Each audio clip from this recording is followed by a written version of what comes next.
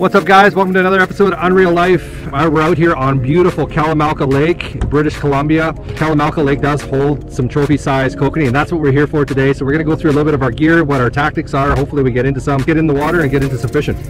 All right guys, so I'm just, uh, I'm gonna use a rubber snubber just because I'm using the downrigger. Sometimes the backlash when it sets the hook can, you know, rip their mouths. I have seen it. So I'm just going to use an extra precaution with a rubber snubber. I've got the uh, the new Aqua-Vu trolling cam, which activates as soon as you put it in the water. It's got these sensors here. It just automatically turns on. So hopefully we can look at some fish strikes. And the other thing is I'm going to start off with a pink Mack's sling blade. Probably could shorten that leader a little bit more even because uh, this one has no action on its own as far as swaying. It just has the spinner in the front. So if you want your lure to have a little bit more action, then you want to put it closer. You want to shorten that leader and just have it maybe about, you know, 9, 10 inches, something like that. Probably about there would be good. Put a slight bend, just a slight bend in this. This is, uh, I'm just going to see what, what they're biting on right now. This is just exploratory in the, in the, in the beginning. Hey guys, so the other thing we're using to try to locate these fish, I've got a Humminbird up front to tell me my, my depth. And then I've got also the Livescope. Okay, hard to see the screen there because of the glare, but there's a fish, that orange dot. This here is the gang troll on this side. Okay, so there's a gang troll attached to the downrigger ball. And so that's what you're seeing is there's the downrigger ball and there's multiple fish there going after it. We're actually going through a school right now. There's a bigger one. So they're at about 35 feet. Jerry, you're at 25 feet. You probably want to go down another almost 20 feet because your lure is going to come up. About 45 feet, you got fish He's he's following, man. He's attacking. Oh, hit it, hit it, hit it, hit it. No? Oh. Oh, so close. Seriously? No, he's on it. He's gonna do it. He's gonna do it. He's gonna hit it. You're on.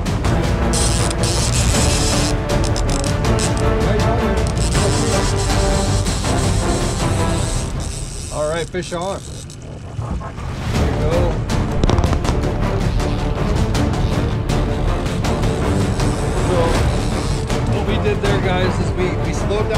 Give it some different action. Just let it fall. We can see on the Livescope that was actually enticing the fish.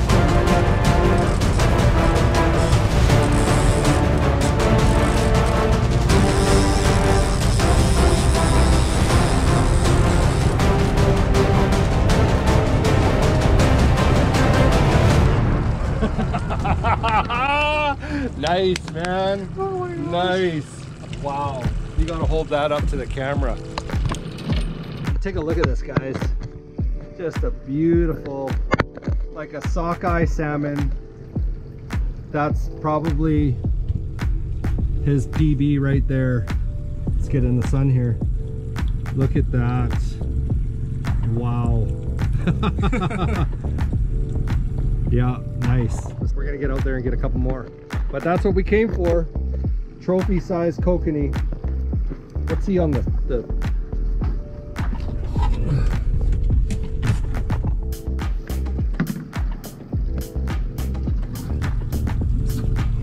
Look at how wide he is. He barely even fits on there.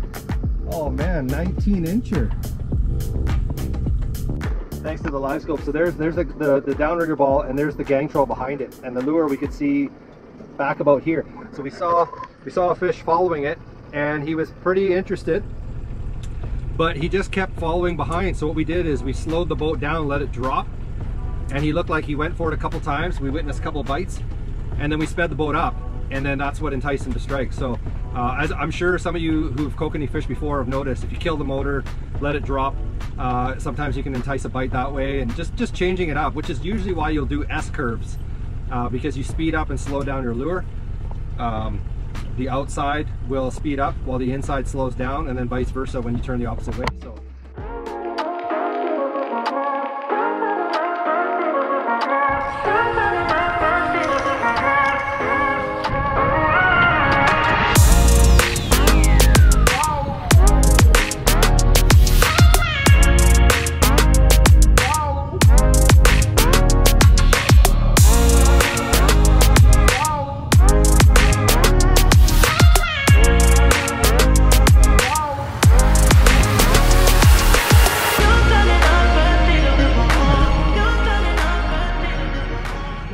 Well, guys, I want to thank you so much for watching. That's going to conclude this episode of Unreel Life. Um, we only caught the one trophy-sized kokanee.